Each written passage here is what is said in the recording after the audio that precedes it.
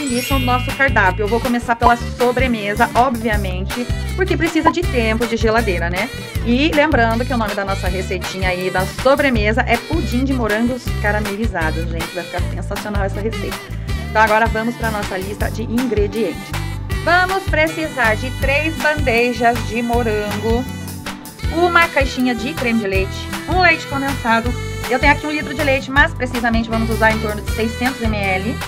Açúcar, eu já tenho um quilinho aqui que eu abri, mas eu, conforme for fazendo a receita, eu vou passar a quantidade para vocês.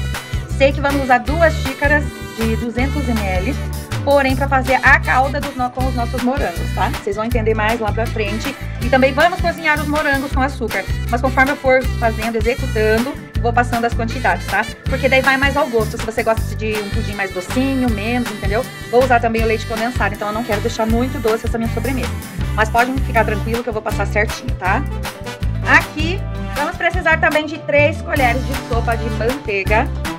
É, eu tenho aqui duas barras de chocolate meio amargo, vamos fazer uma ganache também para colocar no meio do nosso pudim, vai ficar show.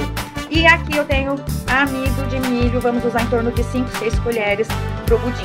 Gente, o nosso pudim de morango não vai gelatina, nós vamos fazer com a base de morango mesmo. Então essas três caixinhas eu vou dividi-las. Uma caixinha e meia para fazer o creme do pudim que vamos levar ao fogo. E depois a outra metade dos morangos nós vamos picá-los e fazer eles caramelizados na calda de açúcar para decorar para dar aquele acabamento na nossa sobremesa. Vai ficar sensacional, gente. Gente, é muito simples esse pudim, ele fica incrivelmente saboroso. É uma receita que eu considero barata, razoavelmente, tranquilo para servir aí, seja no dia dos namorados, seja para um domingão, para um evento aí na sua casa, suas visitas vão amar. Agora vamos iniciar pelos morangos. Eu vou retirá-los das bandejinhas e vou levar, vou tirar ali a, a, o cabinho verdinho, gente, e vou levar numa panela com uma xícara de água e com o açúcar, gente. Eu vou cozinhar esses morangos inteiros. Não vou deixar passar muito do ponto, eu vou dar previamente uma cozida neles.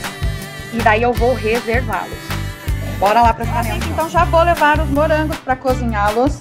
Já lavei, vou tirar aí a tampinha verdinha, as folhinhas. Aqui eu tenho uma xícara de água.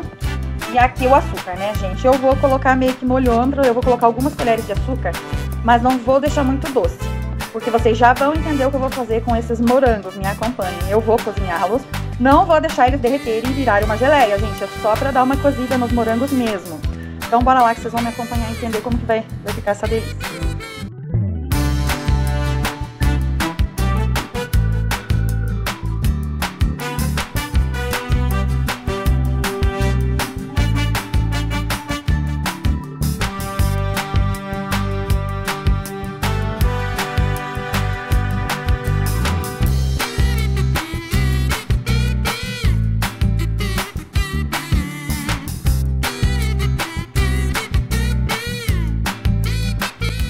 Gente, olha que calda mais linda que já tá aqui.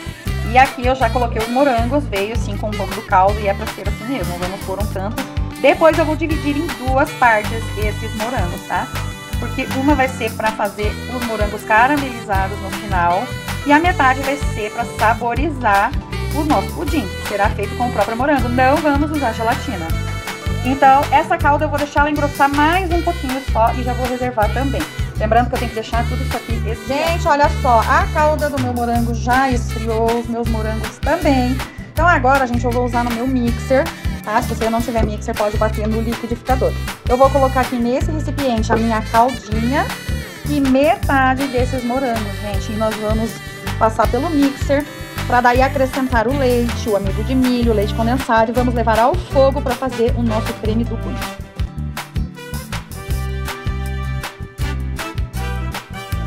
Aqui, ó, já mixei os nossos morangos. Vou voltar para a mesma panela, gente, olha só, olha que lindeza, olha a cor, tá? Não deixei muito doce, porque vocês sabem que o morango tem acidez, né, gente? Agora eu vou acrescentar aqui o leite, o leite condensado. E aí, se houver necessidade de mais um pouquinho de açúcar, eu coloco. Eu vou ver o ponto que eu quero, tá?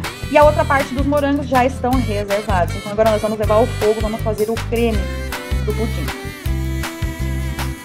Gente, coloquei agora aqui, ó, seis colheres de amido de milho, seis colheres de sopa aqui nesse restinho de leite. Vou diluir bem, acrescentar aqui nessa mistura.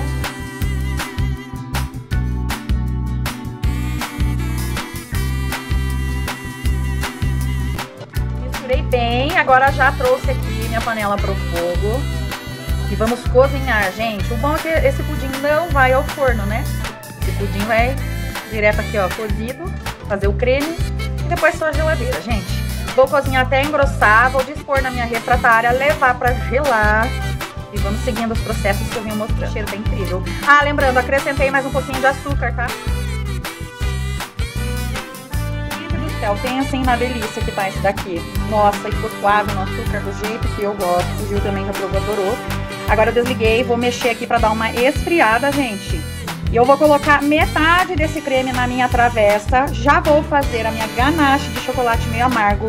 Aí vou despejar sobre o creme, aguardar esfriar mais um pouquinho e cobrir com o restante. Aqui já esfriou essa metade do meu creme, né, do pudim. Agora vou levar ao micro-ondas derreter. Eu apertei o dedo, gente. De 30 em 30 segundos e depois acrescentar minha caixinha de creme de leite, vamos espalhar aqui por cima e voltar com a outra metade do creme e levar para gelar por algumas horas.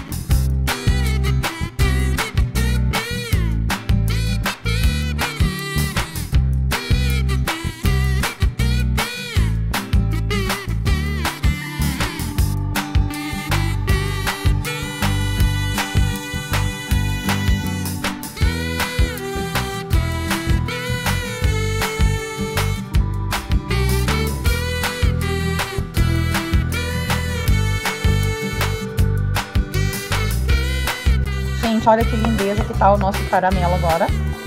E eu vou pegar nossos moranguinhos, olha que lindeza aí. Oh. Gente, olha isso, olha que calda de morango excepcional, gente.